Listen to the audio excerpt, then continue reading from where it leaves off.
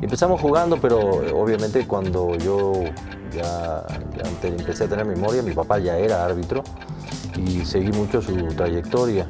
Portero, jugaba de portero. Pero yo empecé en Uruguay, hice el curso en el año 75, terminamos en diciembre de ese año, duró todo un año, desde enero a diciembre. El 8 de septiembre del 77 eh, ya estaba debutando en Primera División, un partido precisamente contra mi ex equipo y todos los jugadores que, que nos conocíamos desde, el entrenamiento, desde las divisiones menores, eh, jugaron ese partido, era Huracán contra Cerro.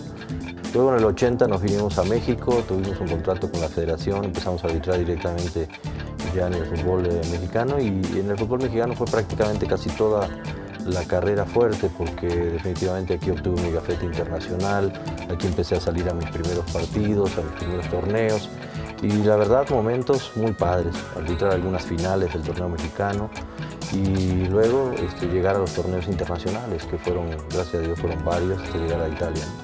Yo era un árbitro en la cancha serio, eh, trataba de, ser un árbitro eh, que conducía el partido, fue lo que aprendí desde la escuela, como un, el árbitro como un conductor, un director del espectáculo.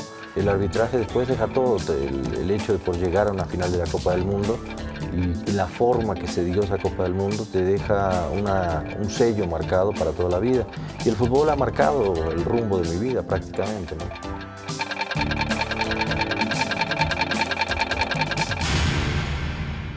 Exactamente el minuto 91 fue cuando el 8 de julio del 90 pité el, la finalización del, de la final de la Copa del Mundo.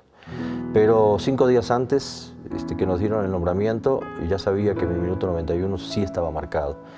Porque precisamente siguiendo toda esa enseñanza en la vida y en el arbitraje que me dio mi padre, siempre decía, el árbitro que llega a una final del mundo no debe seguir arbitrando más.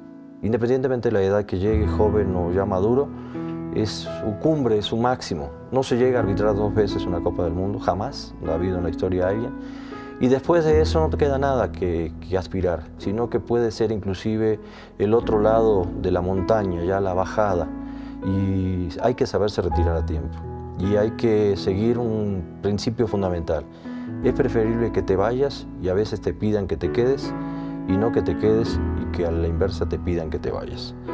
Y cuando me dieron el nombramiento fue por eso tan contradictorio. La alegría máxima de mi vida, llegar a arbitrar la final de la Copa del Mundo, un sueño que al principio parecía inalcanzable y que en ese momento era realidad, pero sabía que el momento del último silbatazo se acababa mi carrera.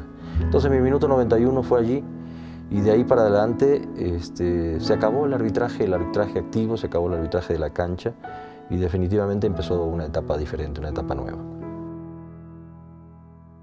Y en ese momento yo decía, bueno, ¿y ahora qué? ¿Qué sigue, no? En agosto hicimos, un mes después, nada más, un mes después, hicimos un proyecto para televisión. Y la verdad, Controvertido se, se transformó en un programa, gracias a Dios, este, diferente, distinto. Estuvo José Ramón con nosotros, estuvo Raúl Orbañanos cuando eh, todavía pertenecía a Canal 13, estuvo, este, bueno, infinidad. Y eso lo hicimos hasta que llegó una invitación de la federación para, para entrar a la comisión de árbitros, que fue en diciembre de, de 92. Y de ahí de 92 hasta el 2003 estuvimos en federación de alguna manera como miembro de la comisión o presidente de la comisión de árbitros, luego como secretario general, de vuelta pues, a la comisión de árbitros, hasta que en el 2003 ya salimos definitivamente. Una vez me preguntaron en la prensa también, hace muchos años, cuando arbitraba todavía y, y era médico, Dice, ¿qué, ¿qué, prefieres más? Le digo, no, no es cuestión de preferencias, es cuestión de que una cosa complementa a la otra.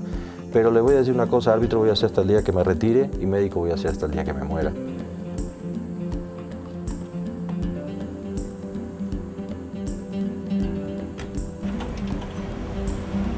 La clínica está aquí en la calle de Pilares, 933, en la colonia Letrán Valle, en eh, casi esquina con División del Norte.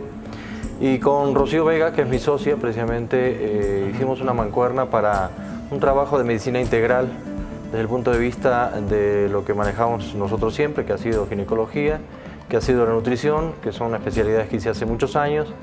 Luego, últimamente, ya estar tan libre, hice acupuntura, medicina estética, y ella tiene toda la parte de, de esteticista también y de confiatría, y sobre todo un diplomado en eh, masaje. Muy satisfecho de una vida este, llena de azares, llena de cosas. Eh, por allí también aprendí una frase que también es realidad, porque no todo es bonito en el fútbol. Eh, dicen en el fútbol aprendí a conocer a los amigos de mentira y a los enemigos de verdad, y es, y es cierto. Deja tantas cosas, tantas cosas, el arbitraje me ha dejado todo en mi vida, este, desde mi familia, mis hijos, este, un nombre, una trayectoria, la posibilidad de estar a esos niveles. ¿Qué le puedo decir? Sí tuve algún dolor personal con alguna gente que no fue lo que yo pensé que tenía que ser o que debía ser o que como deben ser las amistades, pero fuera de eso me dejó enormes satisfacciones.